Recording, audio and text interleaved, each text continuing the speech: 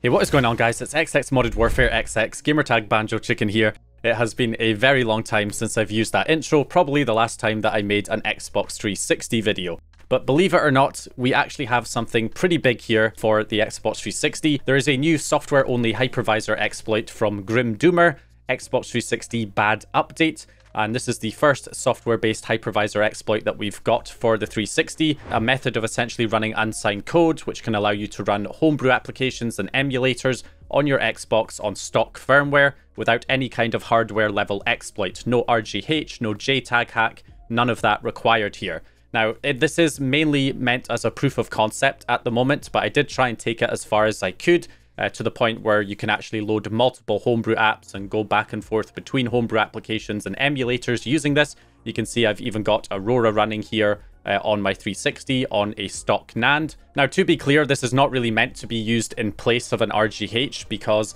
at the end of the day, there are quite a few uh, downsides to this particular exploit at the moment.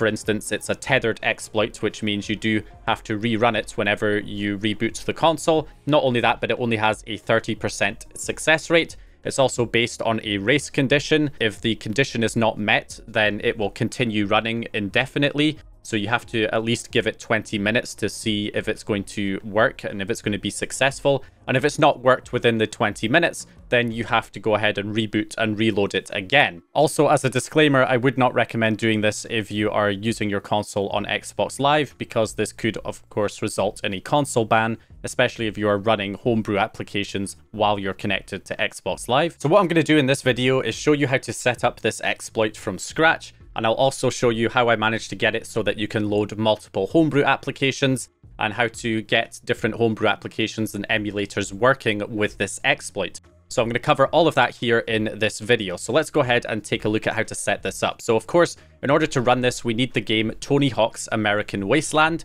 So you'll need a retail copy of this game. It needs to be the Xbox 360 version, not the Xbox Classics version and also it needs to be either the NTSC or PAL version of the game at the moment. At least those are the ones that have been confirmed working. Obviously, if you have a flashed drive in your Xbox 360 like I do, I was able to just burn a copy of this game and I can load it from my flash drive from my burned disk. So that is how I'm going to load this, but generally if you don't have a flash drive, you'll have to go ahead and get a copy of that game in order to load this. We also need to get the Xbox updated to dashboard version 17559, which is currently the only version that is supported, and that is the latest dashboard version at the time of recording, so you'll probably already be on that version, but if you're not, I'll show you how to update it real quick. All you have to do is head over to support.xbox.com, I'll leave a link in the description, and you can scroll down to copy to a USB flash drive, and then download the Xbox 360 system update file. Once you have that downloaded to your computer, as I've got it right here, system update, you'll see that the zip file says the version 17559. Make sure it is that version in case a new dashboard update does actually come out sometime in the future and it's a different version. You need to check to make sure it's 17559 because you don't want to install a newer version in case it, say, patches the exploit, for instance, although that is unlikely. So what we can do there is head on over to a USB drive. The USB drive needs to be formatted in FAT32 format and then you just want to copy the system update folder to the root of that USB. That's all you got to do. Once it's copied, you can unplug the USB drive and plug it into your Xbox 360. And when you get that message, you just click yes to do the update. It will extract it from the USB and install it. And once it's installed, you'll be updated to dashboard version 17559. Now you can check your dashboard version to see if you're already on 17559 by heading into the settings, going to system, then going to console settings and scroll down to system info, but do not select the option, just hover over it, and it says dashboard, as you can see, 2.0.17559. So the 17559 is your dashboard version there. Okay, so if we plug our USB drive back into the computer here, now we're on 17559, we can download the Xbox 360 bad update and download the zip file here. You can also download the tools.zip in order to make specific homebrew apps compatible with this. So download both of those files there. Okay, so what we want to do is plug in a USB drive into our computer and then open up the Xbox 360 bad update. Make sure your USB drive again is formatted in FAT32 format. Then we're going to go into the Tony Hawk's American Wasteland folder and copy the contents of this folder into the root of your USB drive. And that will get it all on there. now there is a homebrew app already included inside the bad update payload. It's just a default.xex file that plays a video, a Nyan Cat video. So that is what you can expect if you run the exploit successfully. Now what I will also show you is how you can use XEX menu and I'll also show you how you can change this to load a different homebrew application. So for XEX menu, which is what I would recommend, uh, because the advantage is what you can do is you can actually download an ISO of XEX menu and burn it to a disk, which will allow you to load XEX menu from the disk once the exploit is loaded. And that way, whenever you go back to the dashboard, you'll always be able to load XEX menu again from the disk, which will then allow you to load other homebrew applications from XEX menu. So that is the way that I would recommend setting this up right now. So if we head back over to our browser, there is a ISO of XEX menu for version 1.1. I haven't seen a version for 1.2, but if I do find one, I'll leave it down in the description. But this one will work as well. So we can download this XEX menu 1.1 ISO, and then we can burn that to a disk. So you'll need image burn for this, which I'll leave in the description. And then the XEX menu ISO, which you can open with a program like WinRAR or 7-zip. And then you can extract the ISO file out. And then if you just open up image burn, and then write image file to disk, copy the ISO file inside, put in your blank disk, and then click the button to write it to the disk. It's, it's only 60 megabytes, so it'll fit even on a 700 megabyte CD. So you can burn it to a CD or a DVD and you'll be able to run it with this exploit. So that is the recommended way to do this. However, if you do not have access to a burner and you're just going to try and run a specific homebrew application, what we can do is get it to load something like Aurora, which will then allow us to launch other homebrew applications. So the way that we can do that is replace this with Aurora instead. So if we head over to uh, you can download Aurora. So you can just download the release package there. And then from here, we can take Aurora and just extract the contents here into the bad update payload. So we'll just copy the contents of Aurora in here. And now we have all of the files in here. We can now delete default.xex, which is the Nyan Cat video, and then just rename aurora.xex to the same name. So it's called default.xex as well. Now this will not launch by default because uh, the XEX needs to be patched to remove all restrictions and to be set as a retail XEX instead of a dev kit XEX, which I think it is by default. So we need to patch it. So we can patch it using the tools.zip. Inside here, you will find XE patcher. And if you extract that out to your computer here, you will have access to XEX tool. So all we're going to do is right click and open in terminal in the same folder as XEX tool to patch this homebrew app to run with the exploit. So then we just want to go to the 360 bad update wiki. This will be linked in the description, of course. You just want to copy this XCX tool command here, and then we can paste it in. Now, because I'm running this in a PowerShell window, I need to do dot forward slash at the beginning to make it executable, and then change the XCX file path to the path of our XCX file. We can do that by just dragging it into PowerShell, and that will copy it there. You might want to put it in double quotes in case you have any um, spaces in the file name or in the file path. And then we can just press enter, and that will patch it. You can see removes all limits, removes all restrictions, and it also sets it, I believe, to a, a retail XEX file, which is what we need. So once that is done, this should now be bootable with the exploit. We should be able to load Aurora with this. So now we are all set and ready to go. We can eject our USB and plug it into our Xbox 360. So I had to make sure that I actually had a console that was not RGH'd. At first I thought all my consoles were RGH'd and then I remembered that I do in fact have a console that has a dual NAND chip uh, which so it is RGH'd, but if you switch it off, if you switch the chip off, it switches to the retail NAND and turns off the glitch chip. So it basically just boots into a stock firmware, not RGH'd. So that is what I'm using here to kind of represent my stock system, which is also good because the hard drive that's in it has a bunch of homebrew and other stuff that are good for testing. And of course it has a flash drive, so I was able to just burn a copy of American Wasteland to a dual layer DVD and then I can use that to run it on the system. But again, if you don't have a flash drive, you'll need to get a retail copy of the game there. So with the game inserted here, what we need to do is sign in to the appropriate profile. Um, so what we're going to do is just sign into the profile. The profile is the profile that's on the USB drive, which is player one. So it says MU for memory unit. So that's the one you want to select there. So we'll go ahead and select that.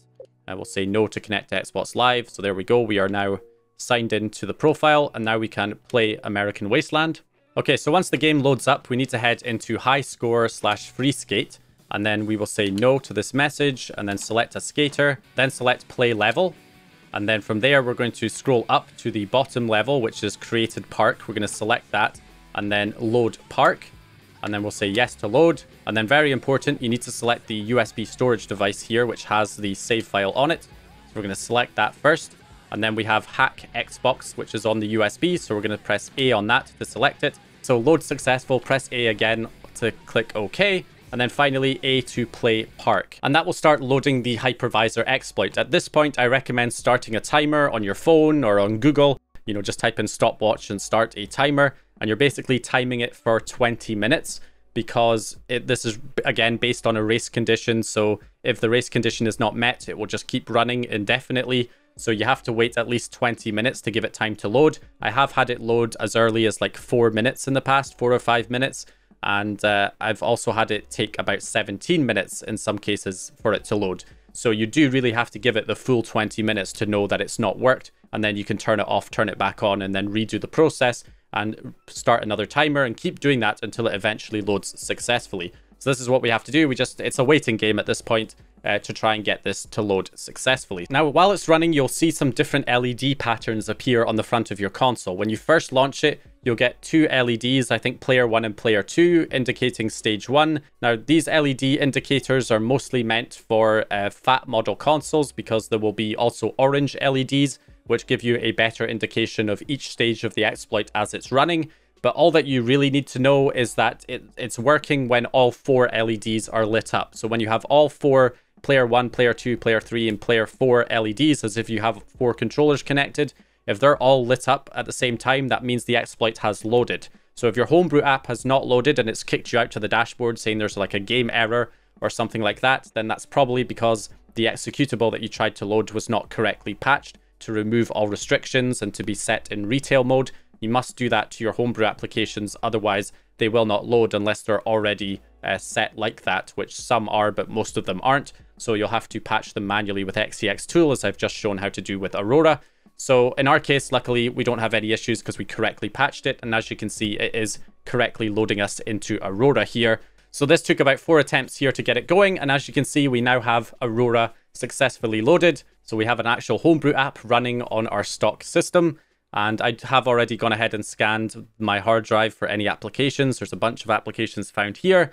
Now, the issue that we have here when you're just loading a Homebrew app directly is that you can only use it to launch one other application and then you're stuck because unless that application also allows you to load additional applications, like you can go from say Aurora to XEX menu, back to Aurora, back to XEX menu, for instance, because both Aurora and XEX menu allow you to launch XEX files.